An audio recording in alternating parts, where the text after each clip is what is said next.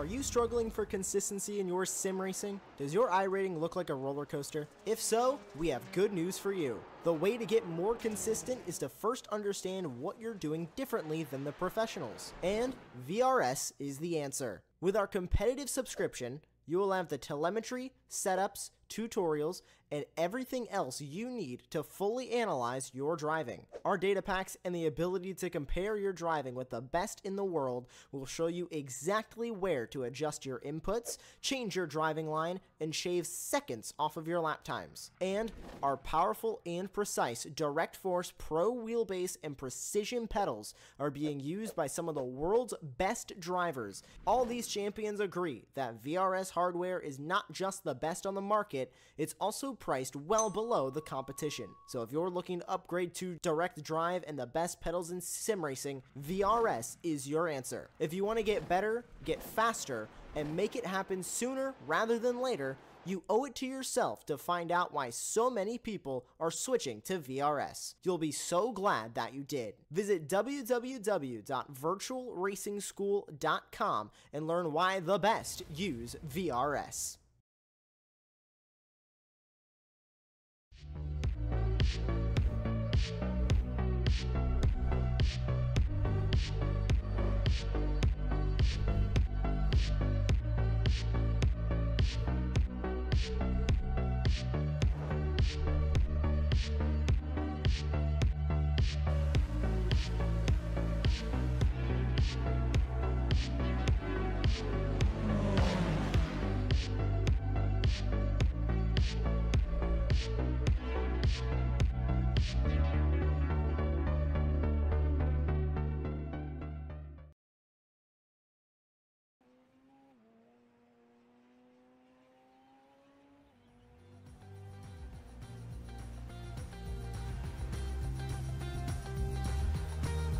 Greetings, race fans, and welcome to Apex Racing TV's presentation of the Radical Esports Cup. J.R. Gregory here with you on the call. Alongside me in the commentary booth, Tom Dillon, and in the production carrier, our friend and colleague, Joshua Wilkie the star of today's show, the Radical SR10, 425 horsepower, only 725 kilos, no traction control, no ABS. And folks, we are showing the top split of the public server here, Friday 2100 GMT, as we do every week. So this is not a league race, this is not a private race.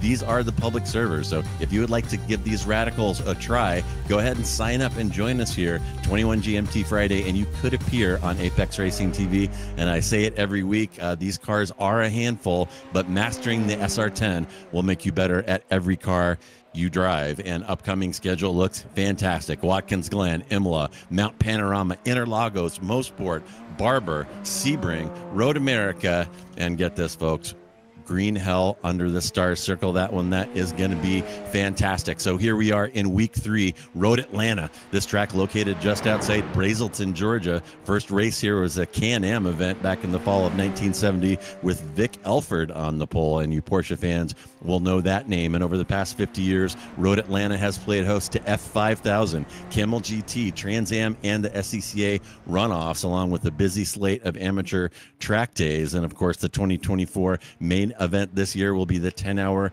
Petit Le Mans. Today's configuration 2.5 miles, four clicks, 12 corners. The current record was a 107.056 set in 2008 by a Peugeot LMP1 car. And I got to tell you, last year's fast lap at the Petit was a 109 in the rain by these phenomenal new prototypes, uh, IMSA prototypes. So we're going to see that record fall, I predict, this fall. And uh, Tom, uh, this track car combination is fantastic for a couple of reasons. Uh, the Radical loves that uh, uphill charge into turn one. It does uh, have significant downforce in the higher speed corners. You just have to brush the brakes and charge up that thing in fifth gear. It's super, super fun. And uh, the one part where I think they can kind of struggle is putting down the power in those low speed corners. And we're going to see that out of the critical turn seven, probably the most important corner on this track that leads to that long, long back straightaway where these radicals are going to show their ability to pick up a draft and gain significant speed uh, on on that. So, what are you looking for out of these radicals today? Well, absolutely. Turn seven going to be absolutely crucial. You you then go down the back straight flat out section through turn eight and turn nine, the two kinks before you hit the brakes very very hard uh, for that turn 10, which is the big chicane here at Road Atlanta. So uh, really, it's going to be all about that exit, as you say, and then getting on the brakes early uh, in two or late, I should say into turn 10, making sure you make your moves down at that part of the track, but also plenty of other places uh, to make some moves. There's a lot of heavy braking zones around this track, a lot of um, corners that the Radical really is going to glide around, and, and that gives the drivers uh, a good opportunity. But also I should mention, you know, we talk about how good the schedule is here in the Radical uh, Esports Series over there on iRacing. And uh, the reason that schedule is so good is because it is voted uh, by the people. If you head over to radicalsimracing.com, already uh, the votes for the schedule for next season uh, have been released. So uh, we've been asked to uh, remind you of that fact that it's only so good because it's voted by the people. And you can go over to radicalsimracing.com to go and vote now. All right, and so true, and yeah, and we were just here Tom, before you joined us last season, and I got to say there was some wild action into turn one, two, and three wide uh, on numerous occasions. So we're going to see plenty of that today, as long as uh, along with fights over that entry into turn 10. So here is your grid. Packy Caruso will be your pole sitter. Next to him, Lucas Rees in the next row. Andreas Friedrich next to Myron Ianni. Kjetil Larson and Mika Hulken in there in row three. Sorensen next to Bussin in P7 and P8. Marco Weaver next to uh, Dennis Kyriakopoulos there in 9 and 10. Heinz Braun next to Samir Kadura in P11 and P12. And bringing up the rear, Michael During and Gabriel Berger in 13 and 14. And uh, as we wait for the lights to come up here, just a reminder there is no pace lap here. So we're going to be starting these radicals off from a standing start on ice cold tires. And uh, that in itself can be a challenge. We've seen some uh, races turn on some of these launches. And uh, I'd also point out we have a couple of our overall top 10 here on the grid today. Our uh, provisional top 10 on the season is Weaver, Barry, Caruso, Friedrich, Vitorino. Larson, White, Kiolis, Reitinen, and Braun. So you're going to see some of the best radical pilots here in the world on our 2100 GMT grid here this afternoon as we wait for the time to tick down on our start here. We must have somebody who has not entered the track, but uh, we should see those lights come up here any moment. And there they are. And uh, that is Caruso, your pole sitter in the number two car. He will be on the left and have the theoretical advantage into turn one if he gets off clean. And we are green. And Caruso will get, our, get off green, uh, get off clean. And Friedrich, Friedrich excuse me, has already jumped past Lucas Rees as we enter into turn one for the first time. Uncharacteristically nose to tail here. We usually see quite a bit of side by side action there into turn uh, one on the start, and they already have an off. That is Rees manages to keep it off the wall, but he's going to go through the grass and end up in DFL. That is. Uh, definitely far from the lead in race parlance and a pretty clean start so far, Tom. Pretty clean start, just the one driver out of the 14 going off of the track. Everyone else seems to filter through uh, just about okay. Here's a, a, little bit of a move as we go down into the right-hander, not quite able to pull it off. Trying to get a, an ID on this driver who again looks down uh, to the inside line, has a tuck in behind once again. And the exit's so important here at Road Atlanta. We go down big straight now, looking down the hill. They'll go uh, through what the figurative DRS sign is on lap one of 19, and this looks like Sorensen is going to get the run on the outside line first huge braking zone of the lap, last last braking zone of the lap into turn 10. Sorensen looks the outside line, there's a little bit of carnage as off the road goes Boosson, but Sorensen is through, that's the most important thing. Boosson has to rejoin the circuit. I don't know if he was given a help there, as already they go to the end of lap one. Yeah, Braun elbows out there trying to defend against Sorensen, and uh, uh, the driver that we saw get the little kiss there uh, may have got the worst of it. And there's another driver out. That is Hulkinen taking the uh, grass route there, uh, going back to his rally routes, and hopefully he'll have a careful rejoin here. Oh my goodness, as we see Bussin make that beautiful maneuver there over turn three, a critical corner coming down the snake. Uh, and interesting in these radicals, you kind of have to hit the curb there. Radicals not a fan of getting off their wheels, but over that curb in turn three and down through the S's, A lot of them are going to be banging off those curbs as these radical drivers are on the ragged edge to get the most uh, the most out of these things, and we're going to see some epic lap times out of these cars as this one unfolds. And lap two of uh, 19, as we mentioned, the gap at the front of the field, not particularly huge. Uh, Caruso going to find himself under a little bit of pressure from Frederick here. There's a big, big slipstream you get down into this part of the track, and uh, at the moment, looks like Caruso is just about going to hold on to where he is, three tenths of a second as uh, he goes out of the chicane and into turn one is where it's really going to be interesting. The very, very short lap here, only one minute uh, 21.8. They were on the first lap, one minute 16.1 on that last lap, the fastest lap of the race right now being sat by the man in third. That's Myron uh, Yanni uh, at the moment. So really good lap for him. We'll see what Caruso uh, can do here as he goes out of turn two and down the hill through the sweeping S's here, and uh, at the moment he's got a three tenths of a second gap, but it seems to be narrowly increasing up to five tenths, gaining two tenths through just the one corner. But this battle uh, for the lead, uh, I think all three of them actually going to start to battle soon enough, uh, JR. Yeah, great camera work by Josh there as you see Caruso flogging. Here's Boosin. He's going to peek inside of During, and he's going to get that done uh, going into that 6 7 complex. And, uh, you know, one of the things about making that pass in turn six is you come out of turn seven with the Vanquish right on your tail. And uh, I want you to take a look at these gaps here coming down the front straight. Caruso had a 0.5 gap on Friedrich exiting turn seven, and you can see that dropping like a stone as uh, the draft goes to work on that long, long back straightaway. And not a lot of passing so far into turn A, which is a little surprising based on our experience last season where it was nonstop action there. And uh, as to the battle between Caruso, Friedrich, and Ianni, it may be that Friedrich is happy just biding his time, hanging behind Caruso, and knowing that uh, if he can just stick with him and he's there in a close P2 on the last lap, Caruso is going to be a sitting duck due to the massive slipstream of these radicals.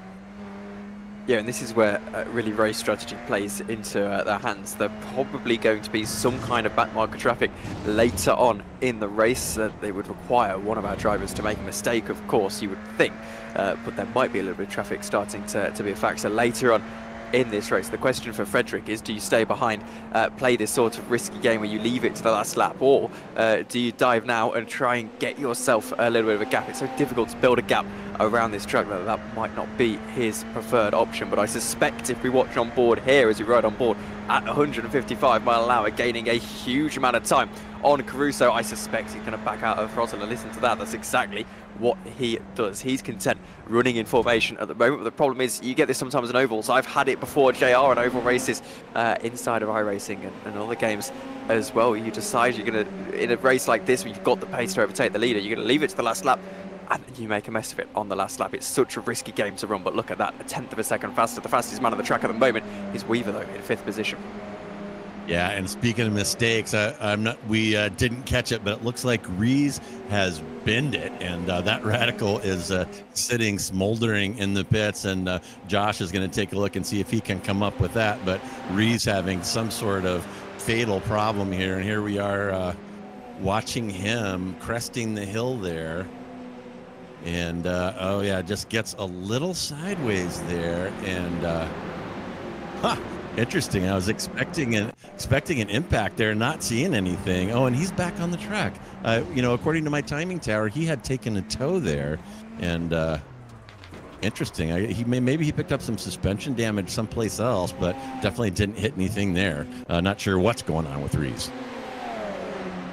No, I'm not sure at all. Actually, as here we go back to the battle uh, for the lead of the race. As Yanni uh, looks to the inside there for a second. I'm not really sure uh, why he was taking such a line, but he did anyway, maybe hoping he'd get the overspeed on the inside line, but either way, it stays line of stern uh, at the front of the field. I think the problem for Yanni here right now uh, is that he hasn't really got the power of that slipstream on the car in third place and hasn't been able to uh, gain too much of a gap on Larson just behind. Here is uh, Kyriakopoulos, uh, looks to the, well, actually looks to defend the outside line. Down the inside goes Sorensen. That's a really well-made move into turn one, but Kyriakopoulos is back to the outside line. Will turn to the inside for the right-hander. Sorensen knows where to put his car though, he's able to hold on for the time being, but that number eight is really starting to push back at him. Not really an overtaking opportunity this part of the track as Boosson uh, getting involved in this battle as well. Will be interesting to see uh, what happens out of turn seven here as Boosson is in the slipstream now of Kyriakopoulos, who might find himself losing two places in one lap, but eventually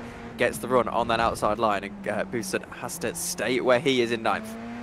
Yeah, Boosson showing his nose there. I'm, I'm not sure that really helped him. That might have actually uh, added to the gap uh, of Kyriakopoulos there. But it'll be interesting to see what develops here down the back straight. And looking at our timing tower, Heinz Braun, uh, as we've seen out of him uh, on a couple of these events, our current hard charger, he's moved all the way up uh, into P6, five positions from his qualifying position of P11. And here's some action in turn 10. And uh, my goodness, last time this was nonstop, folks. And uh, as this one develops and we get closer to the end, people become more willing to take risks. We're going to see some more action in turn 10 and in turn one, as you're seeing here. And that is Sorensen around the outside of Kyriakopoulos and uh, just the beginning of the side by side battles that are likely to unfold. My goodness, these radicals are so great. If you're used to driving Road America, uh, imagine just dab in a GT3 car, particularly as I am, imagine just dabbing the brakes, dropping it into fifth, and then flooring it up that hill. It's the the ground effects are phenomenal in these cars. That's what they're built around, and uh, that's what they're very good at doing. Here is uh, Samir Kadura uh, trying to catch up to Boosson and Kyriakopoulos and Sorensen uh, as well. Of course, all of them battling along, but right now it seems the immediate threat is to Boosson. So the uh, driver in Samir Kadura will see uh, what he can do down into turn 10. He's got the slipstream, and I don't think there'll be too much formation flying at this part of the racetrack for these guys. It will be a late move. He's going to pull it off and sensibly uh, dips in to the slipstream just behind. It doesn't really want to make the move. He might get the exit out of turn 10 here, though. It's a flying exit, not enough to uh, send one down the inside into the final corner or even get alongside, but it is enough to maybe set himself up for something out of turn one. Back to the lead of the race then, and they're still separated by absolutely nothing at all. This race, uh, the entire top five building up, I think, JR, into an absolute crescendo. The best lap time for all of them is about a tenth of a second separated. This includes uh, sixth place as well. In fact, the entire field only separated by about five tenths of a second in terms of their best lap times. There's only one outlier uh, at the moment, which is 116.0 from Michael uh, Doring. Everyone else lapping comfortably in the 1 minute 15. So that top five just so, so close together, all lapping in the 115.1, uh, 115.2. The lowest lap time is the 115.3. And between first, second, and third, the gap is literally hundreds of a second in terms of how quickly they are lapping right now. Yeah, fantastic uh, train is forming here at the beginning. It's Caruso from Friedrich, from Ianni, from Larson, from Weaver, and the top five. Oh, and there goes Weaver around the outside of Larson on the entry to turn 10, and he is going to get that done. Uh, Larson tries to cover the inside, and uh, oh my goodness, Weaver takes the long way around, and that will move him up five positions into P4. And uh, gosh, what I was going to say, Tom, is this train of five, you can, it's like a brewing storm. You can feel something is going to be happening before this one is over. And watch Weaver cover the inside. You know, Honey Badger don't care. I'll just take you on the outside. And uh, sometimes you get you see uh, the ability of the car being passed there to work the inside out under the bridge, and uh, didn't happen that time for Larson. And these top, gosh, these top four or five cars there, as you can see from our timing tower, separated by two seconds. It was more like 1.2 before that run around, but uh, these changes of positions up front are not over as we're on lap nine of 19. So already uh, about halfway through this race and uh, the battle for the lead stays uh, as close as it was with only five tenths of a second separating them uh, out on the road. In terms of the top three, your fourth and fifth place runners falling behind a little bit and this time Ianni, it may just look to the inside. He's taken a swooping line there on the outside line hasn't really worked for him. I think his hope was that he'd continue to get the overspeed and be able to make a move on the inside line, didn't quite materialise. A couple of retirements from the race so far. Lucas Rice has retired uh, from the race, and by the looks of things, Gabriel Berger is into the pits, what I can only assume is an extended stay at this point. So that's frustrating uh, for him. Another thing to think about with the Radical races is Bussen now uh, sets the fastest lap of the race, showing just how close it is out there on the circuit. Another thing to take into account is the tyre wear. It's not a huge factor, but it's a factor enough that it can make it a little bit difficult towards the end of the race, Joe. Yeah, absolutely can, especially on some of the tighter tracks. May not be as much of an issue here, but uh, what we've seen in these radicals is you cannot flog them, flog them, flog them for the entire race and expect to have grip at the end. Uh, they will blow the front tires, particularly, right off, uh, depending on how they're driven. And this front three again of Caruso, Friedrich, and Ianni with Weaver and Larson behind, uh, still kind of running in a group here as we watch uh, from Bussen, from Kadura, from During, and Hulkinen bringing up the back here. And looks like, uh, my goodness, yeah, we're down to 12 cars as two have suffered uh, some kind of terminal ending to their race. And here's a little look now, and that is. Uh, what is that? Braun going around Sorensen there and getting him back into turn Oh, okay, so yeah, Sorensen around Braun there uh, as he's getting revenge from the uh, turn 10 exchange of positions on the last lap. And uh, Sorensen will immediately move over, try to cover the inside of turn one. And uh, yeah, we're seeing some interesting maneuvers there. Some of these cars going way offline before going back on the racing line, either to break the draft or uh, perhaps avoid it, Tom. Exactly, and I'm just wondering here what Caruso is going to be thinking to himself because he's controlled the entirety of this race uh, so far, and has he controlled it though? This is the question. Obviously, to the outside looking in, looks like very much he, he's in control of this race as it runs, but is he really in control? Because it's five turns a second. He's gaining a little bit of a gap uh, to third place. Ianni's not a huge concern, neither's uh, Weaver and Larson, uh, but if Frederick wanted to pull the trigger on any one of these laps, I'm pretty certain he could. Yeah, absolutely, and, and you know, you know, Caruso is thinking that he's a he's a man on his knees uh, with his head in the guillotine, with Friedrich that close behind him, and uh, I promise you that on every one of these laps, as they go down the back straight, Friedrich is lifting uh, instead of trying to make a move. So Friedrich obviously biding his time to take that last last lap risk that you mentioned. And there's Bussen turning under the bridge. We've lost Bussen. Looks like he looped it coming out of 10B and may have struck the uh, that inside concrete abutment that has quite a few marks on it from cars striking it over the years. So Bussen may be done. Looks like he has taken a tow. So see what happens here. And here's Braun going for a little lawn mowing there. Is that what triggered uh, Bussen to go off, or oh, Bussen might oh. have gotten a little smooch from behind.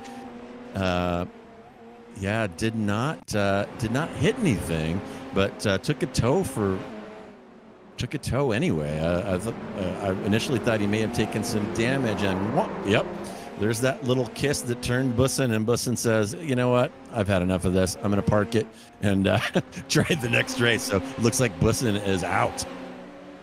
Yeah, point his tyres as well, I would imagine, with that huge uh, lockup. So realistically, you can't really blame him uh, for saying, yeah, that's me, I'll call it a day. Looks like Braun, uh, oh, sorry, Berger, I should say, is back circulating, if I'm not mistaken. He's showing uh, on my screen as, uh, albeit a lap down, but five laps down even, but out of the pits uh, nevertheless. So we'll see what goes on over there as uh, here is the incident that happened to Berger. This is why uh, he is so far down and trailing in this race. You can see the green car uh, at the top of your picture. I think maybe he got onto the curb and just gets himself spin around. No, it's okay there. Oh, he gets onto the grass and gets himself spin around.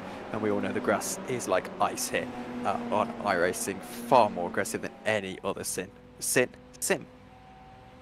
Yeah, they, they they have tuned that some, but uh, certainly at high speeds in these radicals, you don't want to cross that curb and get in the grass. And uh, here we are back with Caruso from Friedrich from Ianni, and watch that gap, folks, as we roll down the back straight. Now about four tenths between Caruso and Friedrich, and we'll watch that drop, drop, drop as we approach the entry to turn uh, 10A. And uh, I, like I said, uh, Friedrich is definitely lifting here. You see it. You see him stop closing there at the very end, and it appears to me, Tom, uh, that uh, Friedrich is going to give a, a roll on the strategy that you were talking about earlier, saving it for the last lap and hoping for the best. So uh, Friedrich banking everything on lap 19 of 19, and you know that that is on Caruso's mind.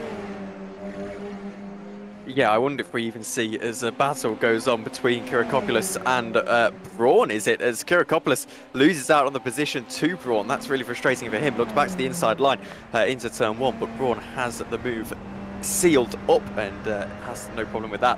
Uh, yeah, I think the problem here for Caruso uh, is that he's actually in a situation now where he thinks maybe it's even worth letting him back through. But if you let him back through and all of a sudden he flies off into the distance, I'm not too sure. But either way, we know this is realistically Andreas uh, Fredrik's race to lose at this stage. It's all going to be about how Caruso gets uh, aggressive in his defence. I know for one, fighting for a race lead on the final lap of the race, I'm not particularly going to be uh, nice with how much room uh, I leave JR. Let's hope that's not the case, but uh, first and second, they're both uh, in the iRacing number system, first and second favourites to win this race. Is this the move finally? Caruso then uh, under pressure. Frederick decides that now is the time to pull the trigger, goes to the inside line. It's that easy for him, but Caruso defends bravely back to the inside line. They stay side by side for the race lead. This is going to allow Yanni back into the equation. The Italian on the outside line as Caruso holds on to the lead. That shows his worth in terms of defensive positioning as uh, Fredrik goes back to the outside line here, down into turn one. Caruso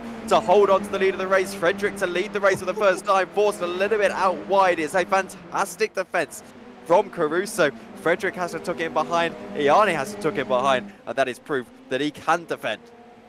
Wow, and that, that that is the action that I've been waiting for. Holy cow! What car control and what trust between these drivers going side by side, at high speed in those radicals. And uh, Tom, I got to tell you, uh, you mentioned it, the the potential strategy. Um, if I was Caruso here, getting toward the end, I might. Uh, uh, accidentally or not, maybe feign a little error here coming out of turn seven to let Friedrich by uh, so that I would have the advantage on the last lap. Because as it is, um, you you see the power of the draft, you see how easy it is to get by. So uh, it's uh, be really interesting to see how this unfolds. It certainly would be tempting if you're Caruso to let Friedrich through so that you're in P2 on the last lap. And here is Weaver going inside of Larson and he is going to is that there was that a pass for position there or were they running in running in four or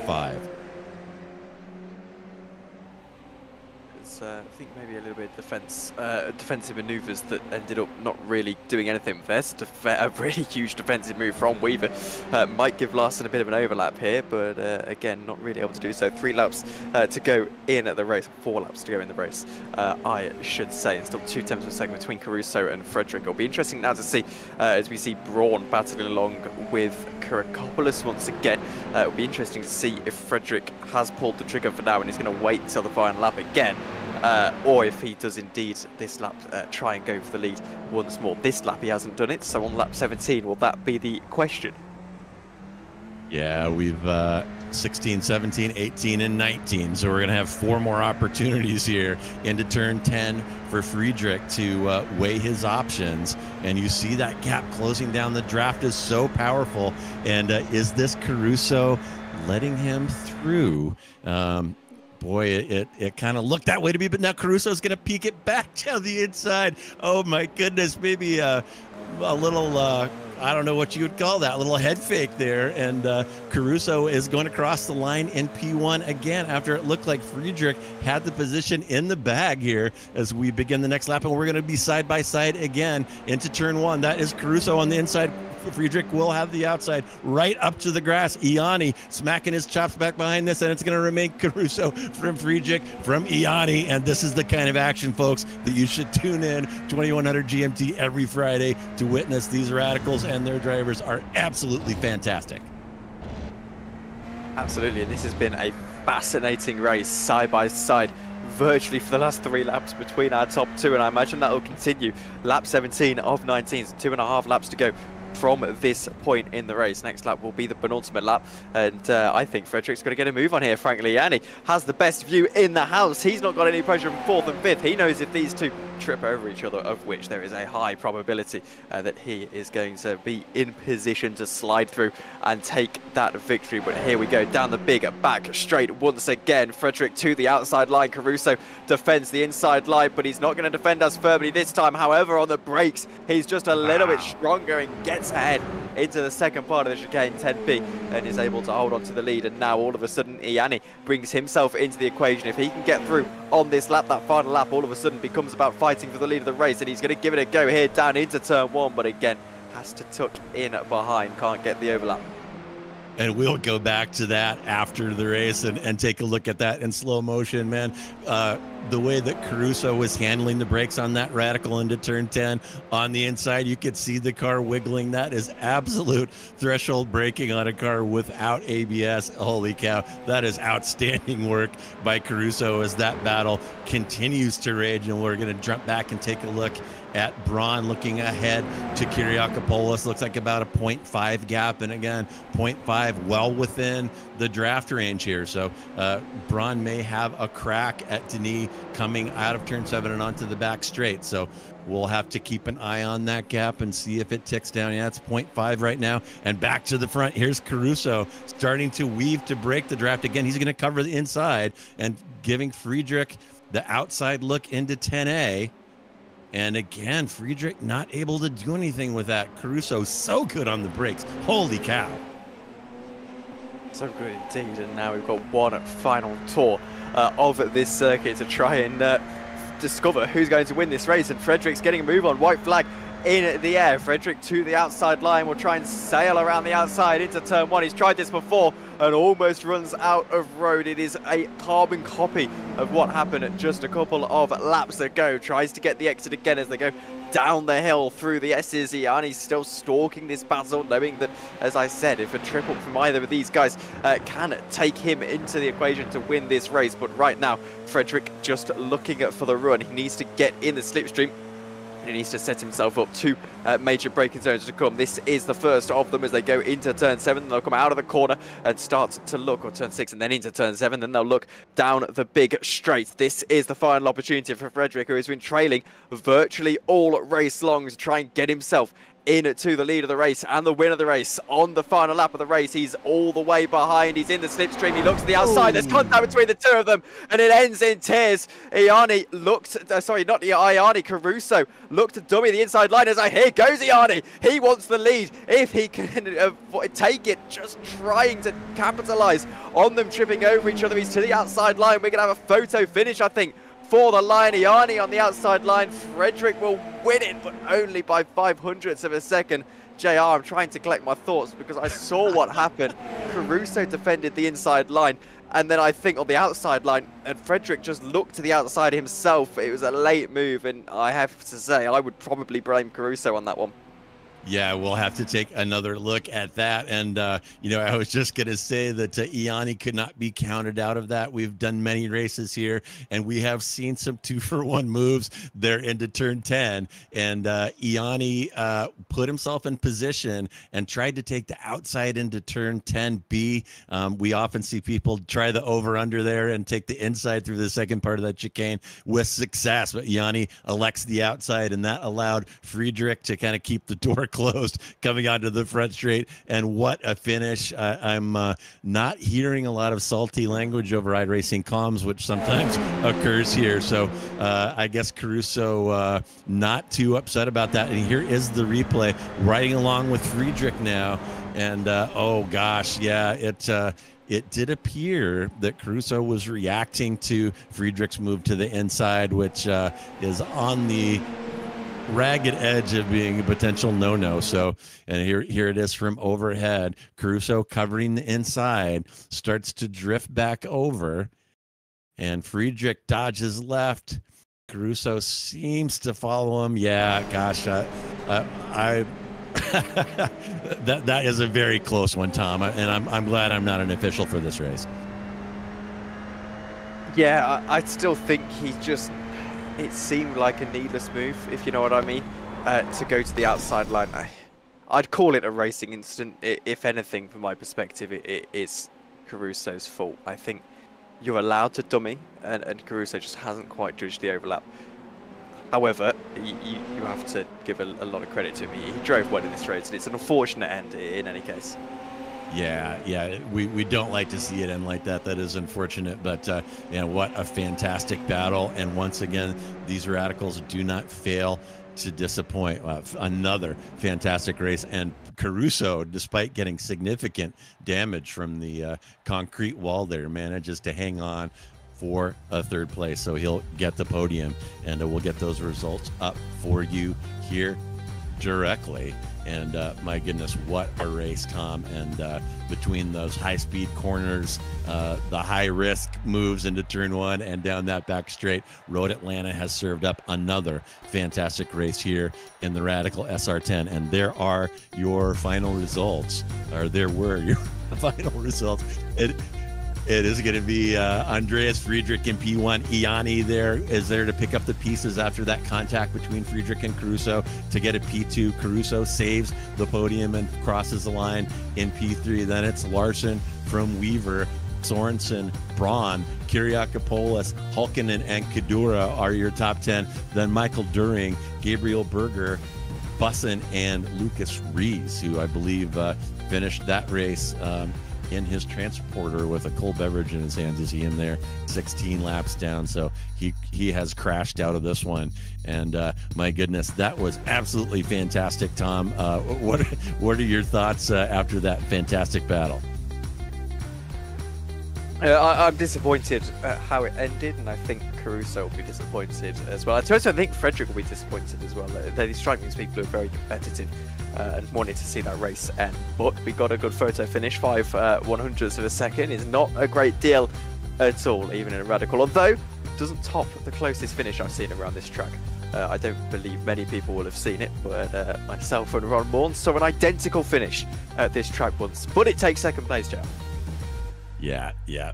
Boy, oh boy, that was a fantastic race. And uh, I'm taking a peek outside uh, in the driver's waiting room. I'm not seeing anybody stopping by to talk to us. So uh, that is going to wrap it up. You owe it to yourself to find out why so many people are switching to VRS. You'll be so glad that you did. Visit www.virtualracingschool.com and learn why the best use VRS.